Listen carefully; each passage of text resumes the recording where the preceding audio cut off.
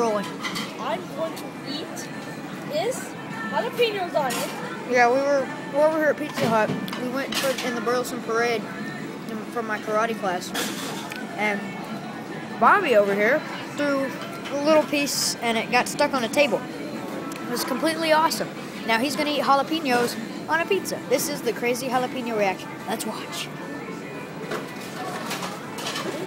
Go. And I got cold water. There you go. I'm not pointing it. Here we go, ladies and gents. Here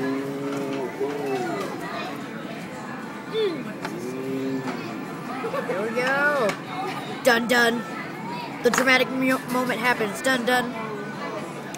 How's it taste? don't drink it. Don't drink it. But you gotta hold it. Be a man. Be a man. Do it for the people.